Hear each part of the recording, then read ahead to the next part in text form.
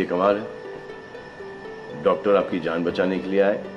nurses आपकी जान बचाने के लिए आए और आपने उन पर पत्थर बरसा दिया फिर से भाग रहा है भाग के जाओगे कहाँ किस और भाग रहे हो जिंदगी की ओर भाग रहे हो या मौत की ओर भाग रहे हो अगर ये डॉक्टर तुम्हारे इलाज नहीं करते सलमान खान को जब कोलकाता के डॉक्टर मोमिता देवनाथ की बुरी खबर के बारे में पता चला तो वो काफी ज्यादा इमोशनल हो गए और रोने लगे बॉलीवुड सुपरस्टार सलमान खान ने डॉक्टर मोमिता देवनाथ के लिए उठाई इंसाफ की आवाज कोलकाता के डॉक्टर मोमिता देवनाथ के घर वाले और भारत देश के सारे महिलाओं के इंसाफ को लेकर सलमान खान ने एक बहुत बड़ी बात कही सुपरस्टार सलमान खान ने कहा की आज भारत देश के महिलाओं के खिलाफ जो भी हो रहा है वो बहुत बुरा हो रहा है भारत देश में महिलाओं की सुरक्षा के लिए नए कानून बनना चाहिए चाहिए सलमान खान ने उनके सभी चाहने वालों से कहा कि इस बुरे वक्त में हम सबको मिलकर एक होना चाहिए और साथ में मिलकर इंसाफ की आवाज उठाना चाहिए ताकि मुजरिमों को सख्त से सख्त सजा मिल सके सलमान खान का कहना है की आज डॉक्टर मोमिता देवनाथ के साथ ऐसी बुरी घटना हुई है कल किसी और के साथ भी ऐसी बुरी घटना हो सकती है इसीलिए हम सबको मिलकर इस बुरे वक्त में एक होना चाहिए और साथ में मिलकर भारत देश में इंसाफ की आवाज उठाना चाहिए ताकि महिलाओं के खिलाफ नए कानून बनना चाहिए और मुजरिमों को सख्त से सख्त सजा मिल सके